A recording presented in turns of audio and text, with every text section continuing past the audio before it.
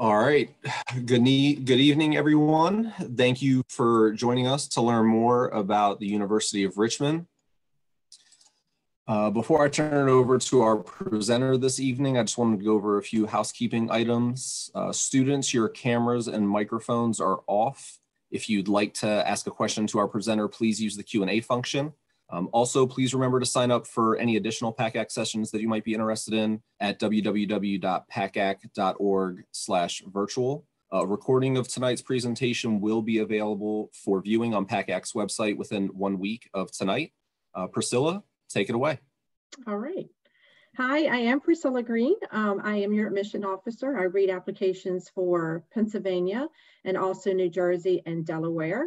Um, I'm going to, well, there is no chat, uh, so I will not be able to give you my email address, but it will be at the end of my presentation. So if you have any questions, of course, that you think of after tonight and you would like to email me, that is perfectly fine.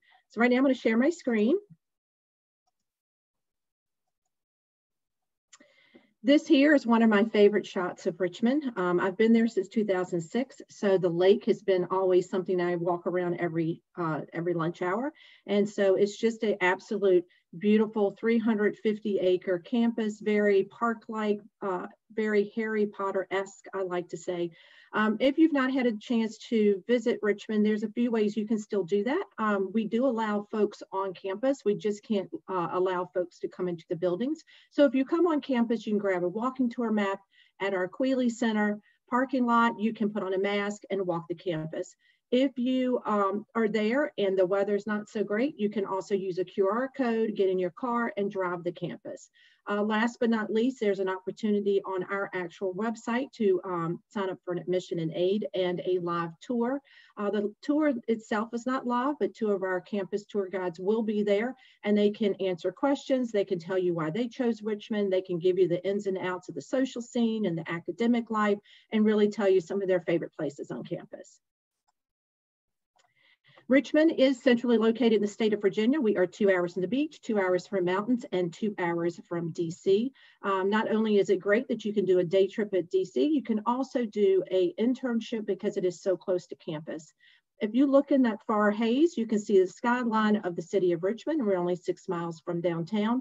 Um, and we have a shuttle system that can take you back and forth. It can also take you in the surrounding areas. So by no means are you campus locked.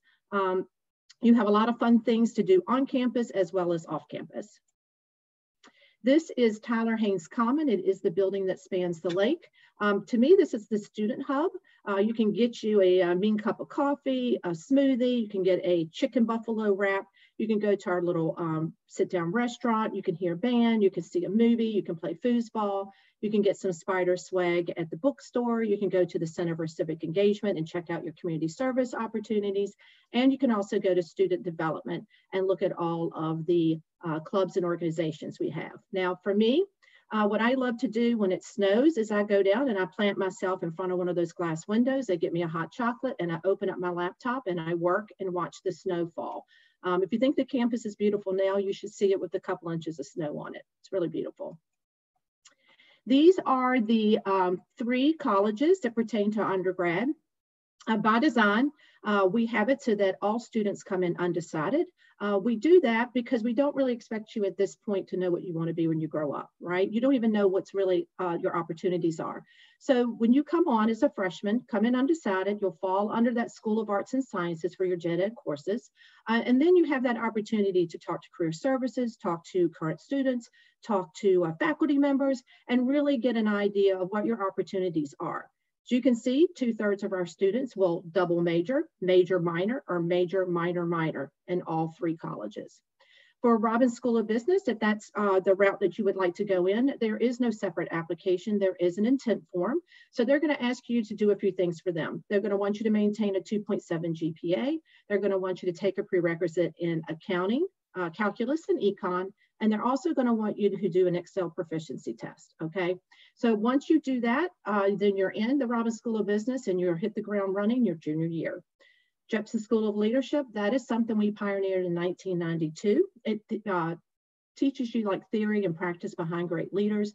You learn things like ethics in the workplace. You learn things like social justice.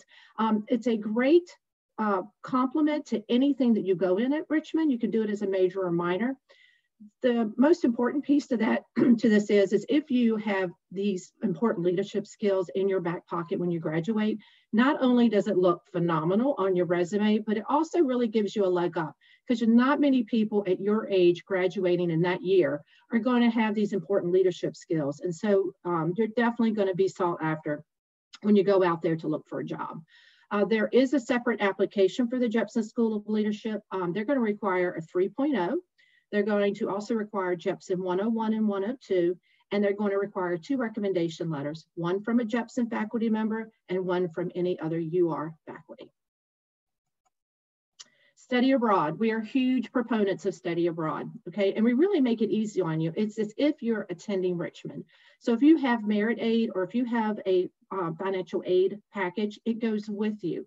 Um, the other great thing is, is we also give you a $1,000 stipend. So you can use that for your visa, your airfare, or to do something fun off campus. When you visit the International Education Building, they will help you with all of those things. They'll help you pick out your program, your visa, your airfare. The, typically, most of our students do travel abroad their junior year. And the reason why is because by that second semester of their sophomore year, they've declared their major. So now they have a really good idea of what they want to do when they graduate. So this, this way they can pick their program based on the experience or based on the type of classes that you can take overseas. Here are some of our lovely spiders that have already traveled the world. Uh, the group there you see in Italy, that is our field hockey team. Uh, even athletics is very committed to make sure that our athletes get a, an opportunity to study abroad. And the reason why is because we want all of our spiders to be global citizens. So that's why we really make uh, going uh, overseas very affordable and very uh, easy for you to do because we really do want our spiders to be global citizens the Richmond Guarantee. So the Richmond Guarantee was started about six years ago with our, our career services what was happening was our students were finding these great uh, internship opportunities, great research opportunities, but they were low paying or no paying. And unfortunately, our students could take a um, take the opportunity to do that because you know they, they couldn't work for free. So what we have guaranteed, right, for any approved internship is $10 an hour, 40 hours a week for 10 weeks. So you are guaranteed that $4,000 funding. You would do this typically over a summer and you can do more than one. So my son is a sophomore at University of Richmond and over this past summer, by the way, he's the rock star, uh, not me. Uh, over the summer, he was able to work with Carol Parish, Dr. Parish, who runs the chemistry lab. She is doing um, some research on opiates and the opiate crisis and opiate addiction. And so Travis was able to sit right here he built a computer program that actually built simulated models. He looked at all the receptors, he looked at all of the uh, molecules and hydrogen bonds and all those things, and really was able to give her some real information um, that she's never been able to collect before. So not only did he uh, earn that $4,000, uh, at the age of 19, he's going to be co-published with the work that he has, and he has a patent on the computer program that he's written. So when you come on campus, even your freshman year, the faculty are really going to encourage you to do any type of research in any of the three colleges. The reason why, number one, it, could, it could solidify where the direction you want to go in, right? Or number two, it could absolutely change your direction. So Travis came into Richmond with kind of a nod towards chemistry, and now he's going to be double majoring in uh, quantum chemistry with that computer science degree. So it really did solidify uh, the direction he wants to go in. Student involvement, that's that building that spans the lake. We do have over 180 student clubs and organizations. One of the big questions I get, do we have Greek life? We do. But Richmond's a little different in two ways. Number one, you are not allowed to rush your fall semester of your freshman year. They really want you to get in there, get your feet wet, get acclimated, meet your friends, get involved in some clubs. Then you can rush your spring semester of your freshman year. The other thing that makes us a little different is that we do not have a live-in situation for sorority and fraternity. Sisterhood's there, the brotherhood's there. It's just as a Greek member, you're also living in dorms with non-Greek members, okay? Uh, we are Division One sports. I like to say we're, we're, we're small but mighty. We like to run with the big dogs. Okay, so game day, you come out, do your face painting, do your tailgating, you attend the game, it is no additional charge to you. So although we are a small liberal arts college, um, it really has a big campus feel, uh, especially on uh, game day. If you're not being recruited for Division One sports, but you still have that you know uh, competitive edge in you you can do a sports club and you can find out all about our sports club all about our championship sports clubs all of those on our rec and wellness website as I said, we are a small liberal arts institution. Uh, we have 3,000 undergrad. I can tell you, um, I am a Hokie. Uh, I graduated from Virginia Tech. I had 14,000 in my freshman class. And I can say after being at Richmond for a very long time and having my son go there, the opportunities that you have at Richmond um, just cannot be matched. The, the fact that I had three and 400 students in my classroom, yet Travis has had 10, uh, is, is amazing. So he has an opportunity not only to know his classmates, he has a great collaborative relationship with his faculty member. He even went to one of his faculty members last year for Thanksgiving. So it's just a very tight knit collaborative relationship. That eight to one student ratio is real, especially after you um, declare your major because you're more specialized. The most you ever see in a classroom is uh, 25 at most. The building that you see right there, that is the Boatwright Memorial Library. If you ever need to um, stay up all night and, and study, go to the 815 cafe and get a double shot of espresso and it will keep you up all night. This is a class of 2024. So my seniors out there, this is the student profile if you are applying this year. Uh, out of that 836, believe it or not, the majority of the students are on campus and they are attending classes in person. We did have a small amount of folks that decided, hey, I'm going to learn remotely, which is fine. We had another small group that said, you know what, I'm just taking the whole entire year off. So one of the big questions I get is, is it going to affect application season this year? It will not. We're going to read applications like we always have. We're still going to go for a class of 836 to 841. Out of that 836, we've had 650 different high schools. So if you're worried about coming to Richmond and not know anybody, you're not going to be alone. I guarantee you, you're going to find your peeps in the first two weeks while you're on campus. You're going to meet them in the dorm, in the dining hall, in classes, in clubs, in organizations. You will meet your folks, okay? Also, out of that 836, we had 37 different states and 38 different countries, right? So we're a eclectic, diverse, kind of melting pot, real tight knit um, community at Richmond. And it really does give you an opportunity to meet somebody that you wouldn't have a chance to meet otherwise. Here's the student profile of that same group. Okay, so for the GPA, this is what we do. We recalculate all GPAs to a UR GPA. So what does that mean?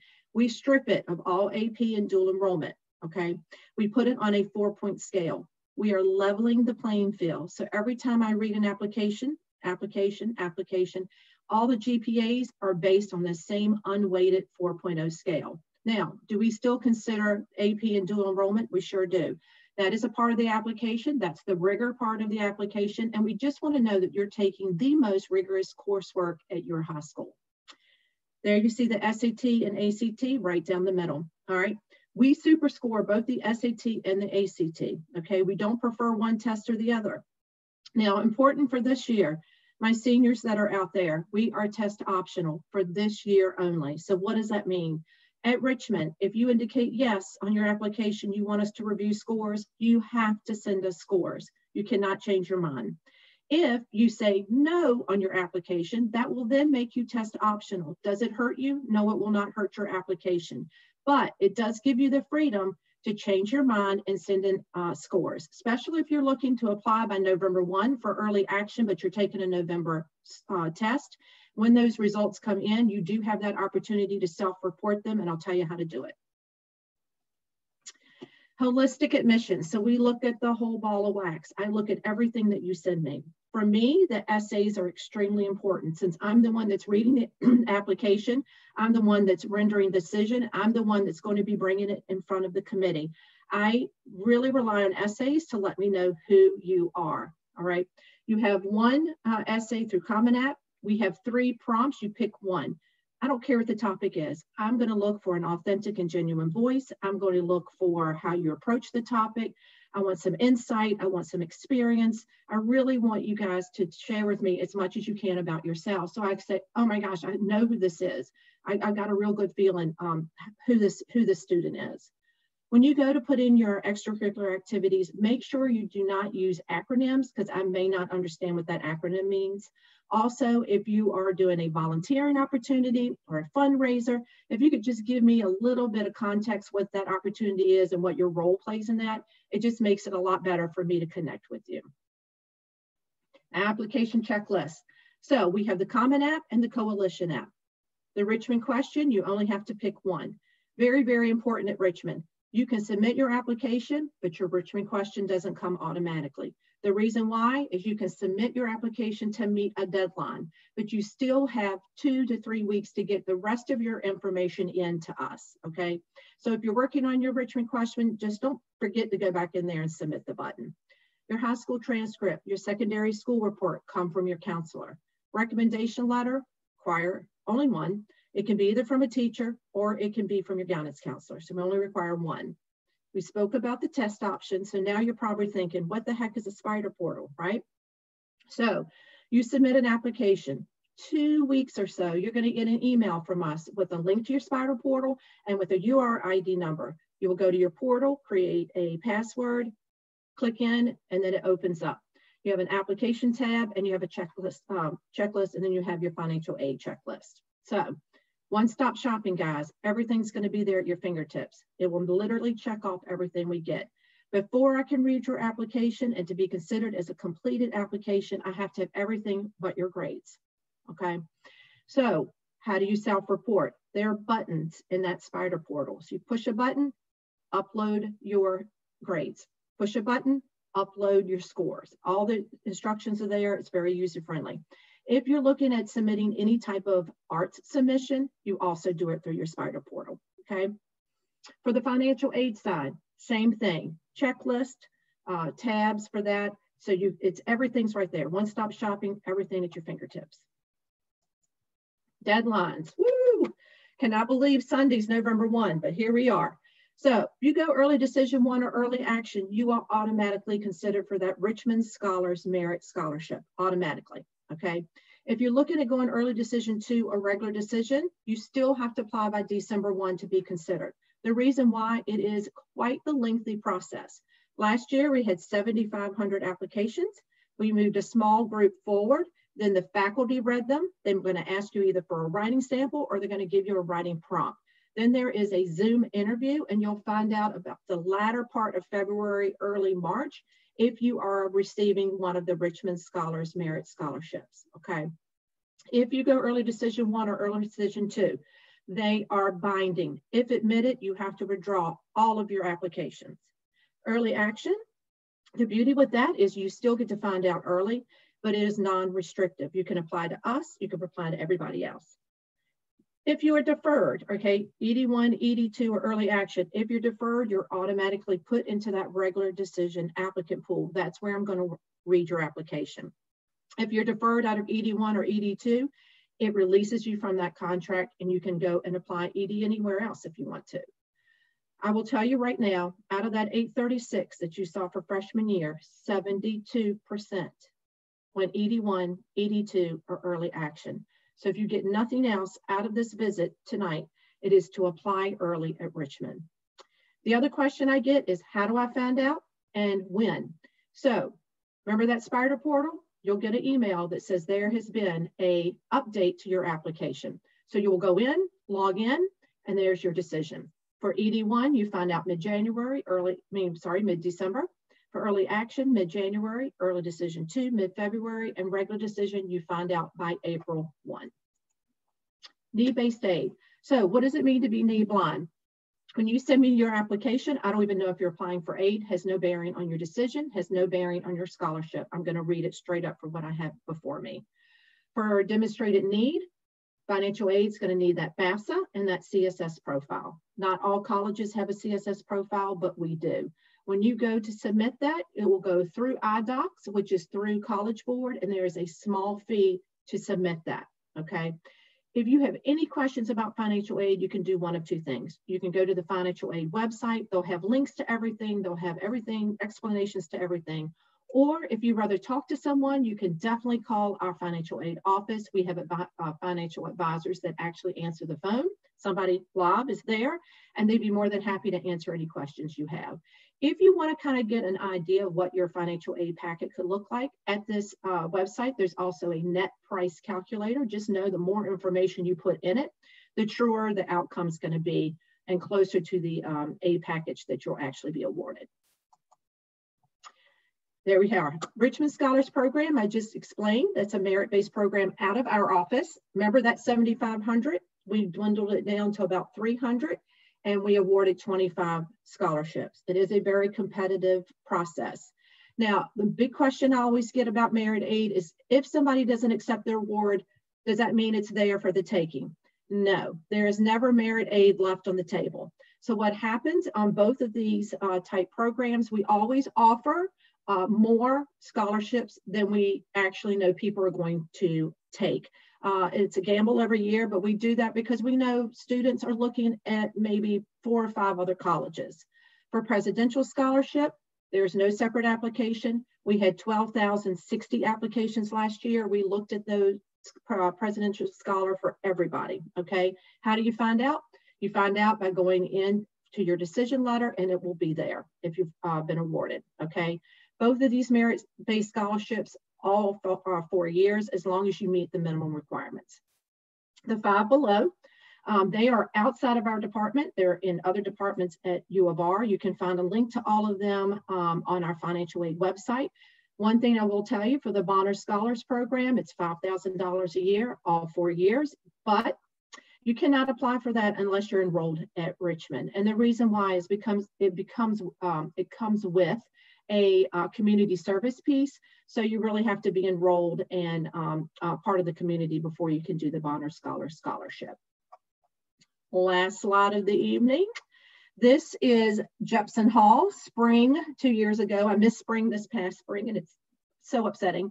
Um, but this is Jepson Hall. It is the uh, home of the Jepson School of Leadership. So to kind of give you a context of where it sits on campus, if you were to stand in the middle of that patio, you have four academic buildings that look very similar surrounding you. Down the hill a bit is that um, library that I told you has a mean cup of uh, espresso there. Then you come to the building that spans the lake. You walk through the building to the other side and Gottwald Science Center is there and the dining hall's there. So everything academic and, and all library is all really close to each other. So you're not like running from one end of campus to the other. Everything is right there and convenient for you. As you can see, that is my email address, pgreen at richmond.edu. Pretty simple there. And if you have any questions uh, that you don't get answered tonight, please let me know. Um, so I'm all ears.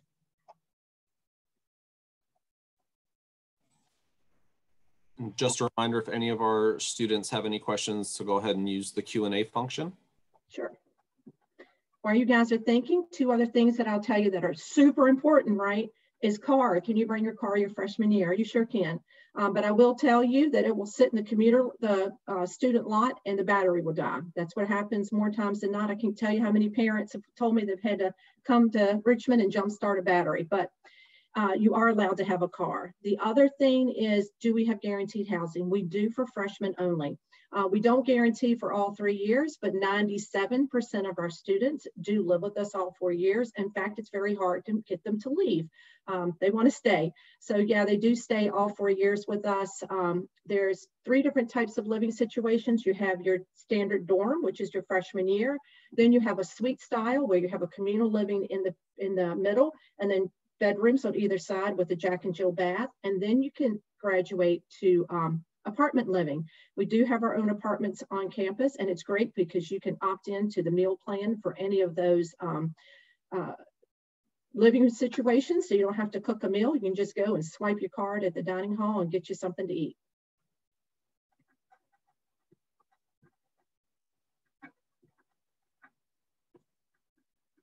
You can ask me any questions you want.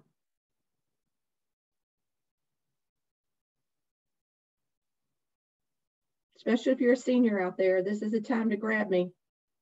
before I go into hibernation and start reading applications on Monday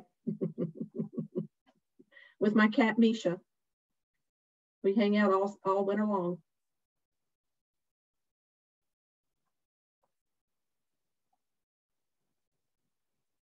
Maybe I don't. Maybe we don't have any questions.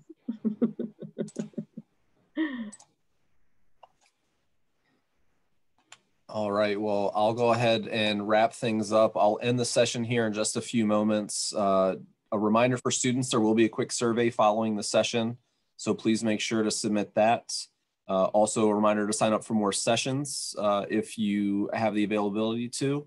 And again, the recording will be available for this session uh, within the next week. Thank you so much to Priscilla for presenting tonight. It's been an absolute pleasure. Sure. It's great. Thanks a lot.